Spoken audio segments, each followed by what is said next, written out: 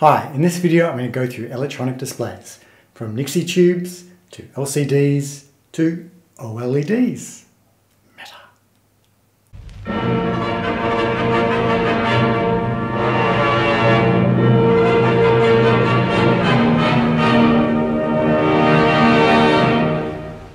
The cathode ray tube consists of an electron gun that forms images by firing electrons through a vacuum tube onto a phosphor-coated screen. The electrons cause the phosphor to glow. The more electrons, the brighter the glow. They were the most popular display technology used in television sets and monitors for over half a century and actually led to the discovery of electrons. An electron gun contains a cathode, which is a negatively charged electrode. The cathode is heated to emit electrons, which are drawn away by a positively charged anode. These electrons are focused into a beam using a focusing coil and directed onto the screen using magnetic deflection. In the case of a vector screen, the beam is moved to draw shapes. In the case of a raster screen, like a TV, it scans from top to bottom continuously to form an image. A colour CRT adds two more electron guns, and the phosphor coat now is treated with phosphorus that will glow either red, green or blue.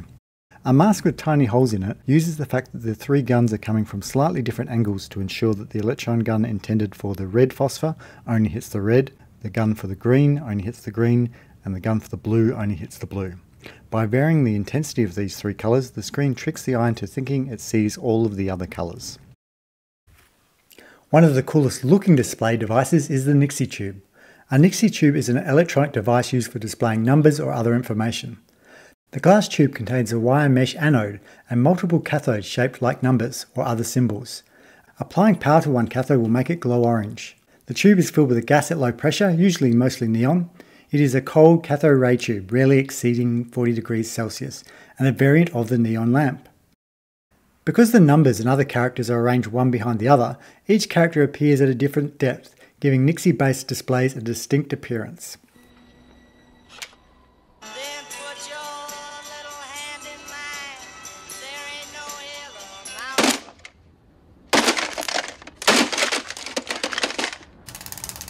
Split flap displays were once commonly used in consumer digital clocks, known as flip clocks.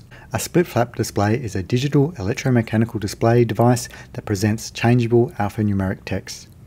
Each character position or graphic position has a collection of flaps on which the character or graphics have been printed.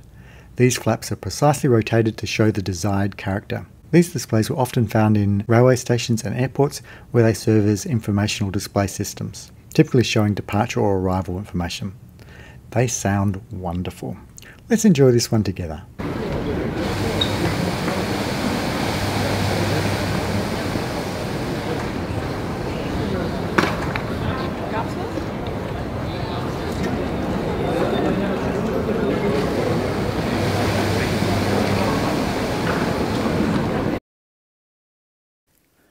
Flip disk displays are an electromechanical dot matrix display used for large outdoor signs, normally those that will be exposed to direct sunlight. The flip disk display consists of a grid of small metal discs that are black on one side and a bright colour on the other.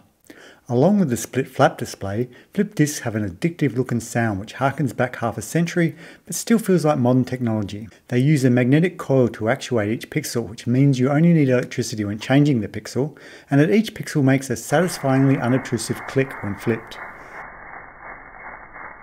Electromagnetic segment displays work in a similar way but instead of dots they have seven segments to represent numbers.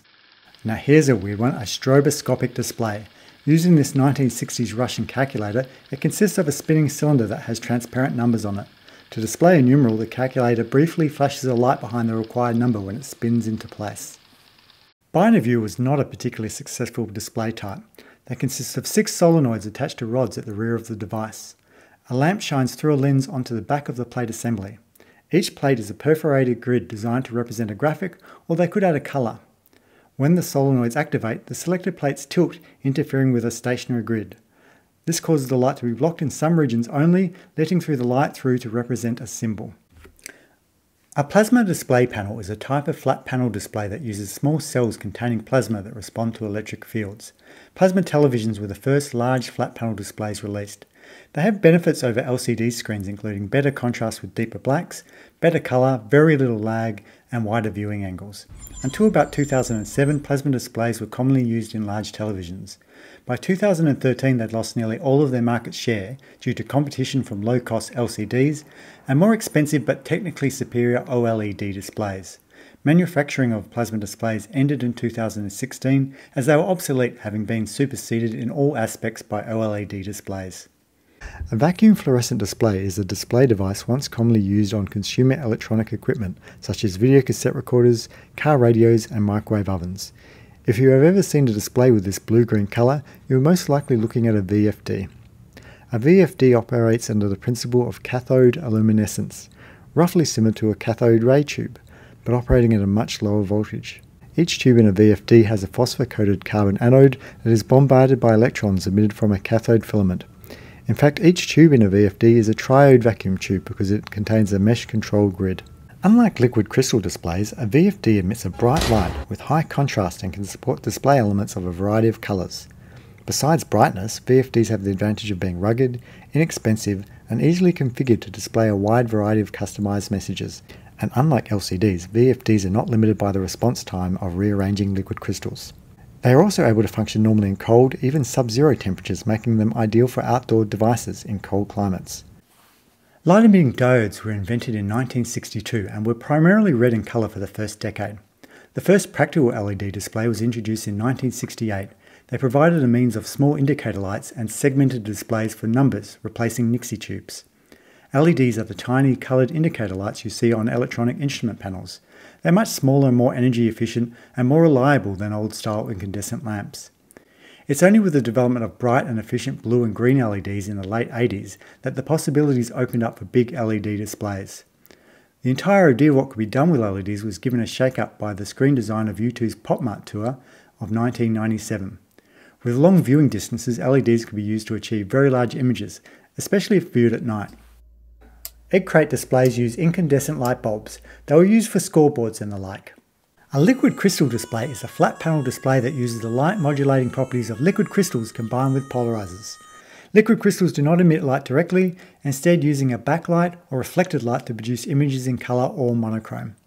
LCDs are available as a dot matrix to display arbitrary images, like in an LCD monitor or TV, or fixed images which can be displayed or hidden, like the seven segment displays of a calculator or the images in a Game & Watch. LCDs can either be positive, where the LCD creates a dark image, or negative, where the screen is dark and the LCD creates a light image, depending on the polarizer arrangement. So how does an LCD work? An LCD panel has two polarizing films. A polarizer filters light and only lets light through that has a particular orientation. The light hitting the LCD panel is filtered by the first polarizer. So now only light of a particular orientation is getting through. The light then hits the liquid crystals. In their off state, they form a twisting pattern which changes the orientation of the light by 90 degrees. The light then passes on to the second polarizer, which is orientated 90 degrees from the first. Because the light has been rotated, it is now the same orientation as this filter, it passes through and you see nothing. When power is applied to the liquid crystals, they turn to their on state. In this state, they do not rotate the light, so it passes through the liquid crystals with the same orientation it got from the first polarizer. In this case, the second polarizer blocks the light, causing the dark reflected image, or it blocks the backlight. Color LCD screens add color filters to create the red, green, and blue pixels you need. The LCD lets the light through or blocks it to create the images that you see. Electronic paper, also sometimes referred to as electronic ink, are display devices that mimic the appearance of ordinary ink on paper. Although they have only fairly recently come into common use, the first electronic paper dates back to 1970. Unlike conventional flat panel displays that emit light, an electronic paper display reflects ambient light like paper. This may make them a more comfortable read and provide wider viewing angles than most light emitting displays. Different companies have developed different electronic paper and ink. While the technologies used by each company provide many of the same features, each has its own distinct technological advantages. All electronic paper technologies face the following general challenges a method for encapsulation, an ink or active material to fill the encapsulation, electronics to activate the ink. Generally, the ink holds a charge, and by exposing the inks to positive and negative plates, the ink will move to the opposite charge. The method of how the inks are encapsulated and then applied to the substrate is what distinguishes one company's from another. These processes are complicated and carefully guarded industry secrets, Nevertheless, making electronic paper is less complex and costly than LCDs. Organic light-emitting diode displays contain an emissive electroluminescent layer, which is a film of organic compound that emits light in response to an electrical current. This organic layer is situated between two electrodes. OLEDs are constructed in a similar way to LCDs, but because they produce light through emission, they do not need a backlight. This means they have better contrast and deeper blacks than LCD screens. Also, because they do not rely on liquid crystals reconfiguring themselves, their response times are much faster, meaning the pixels can change much faster. And with that, you are all caught up on the different types of electronic displays. Thank you very much for listening.